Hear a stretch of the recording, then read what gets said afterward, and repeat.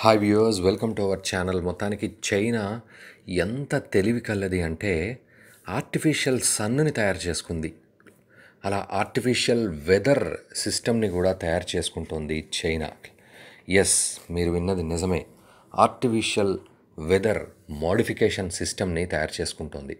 అంటే తనకు కావలసిన రీతిలో ప్రకృతిని మార్చుకునే దిశగా ప్రయాణం చేస్తోంది చైనా. ఆల్రెడీ ప్రకృతి విరుద్ధంగా ఒక పెద్ద డ్యామ్ కట్టింది. ఆ డ్యామ్ వల్ల భవిష్యత్తులో చాలా నష్టం జరగబోతోంది. భూమి తిరిగే ప్రక్రియలోనే మార్పు వచ్చే అవకాశాలు ఉన్నాయి అలాగే వెదర్ని కూడా మాడిఫై చేసి ఫర్ ఎగ్జాంపుల్ ఎక్కడైతే వానలు పడవో అక్కడ కృత్రిమ వానలు కురిపించే శక్తి ఇప్పుడు చైనాకు ఉంది. ఆర్టిఫిషియల్ సన్నుని న్యూక్లియర్ సన్నుని క్రియేట్ చేసుకుంది. సో అది నూట యాభై మిలియన్ డిగ్రీల సెల్సియస్ వేడిని క్రియేట్ చేసే అంత గొప్ప శక్తి గల కేంద్రం అది.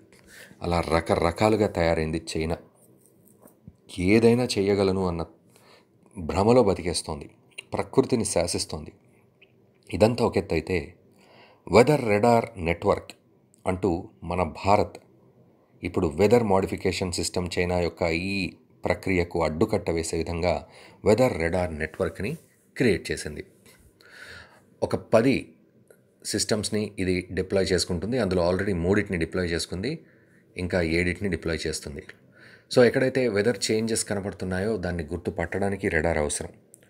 అండ్ హిమాలయాస్లో ఈ వెదర్ మోడిఫికేషన్ సిస్టమ్ని చైనా డిప్లాయ్ చేస్తుంది. నిజానికి భారతదేశానికి హిమాలయాస్ చాలా కీలకమైనవి. మన భారతదేశం మొత్తం కూడా హిమాలయాల వల్లే రక్షింపబడుతోంది. లేకపోతే అసలు భారతదేశం మరో అమెరికా లాంటి దేశంగా చల్లటి ప్రాంతం అయిపోతుంది. అలాంటిది ఈ హిమాలయాలు మనల్ని కాపాడుతున్నాయి. అలాంటి హిమాలయాల్లో వెదర్ మాడిఫికేషన్ సిస్టమ్ అంటూ చైనా విర్రవీగబోతోంది. మరి భారత్ దీనికి అడ్డుకట్ట వేయాలంటే ఈ వెదర్ రెడార్ నెట్వర్క్ అనేది మనకు అవసరం. మరి ఇది ఎలా పనిచేస్తుంది అనేది మరి నెక్స్ట్ వీడియోస్లో మేము మీకు పూర్తి ఇన్ఫర్మేషన్ అందిస్తాం. మరిన్ని అప్డేట్స్ కోసం మా ఛానల్ని సబ్స్క్రైబ్ చేయండి.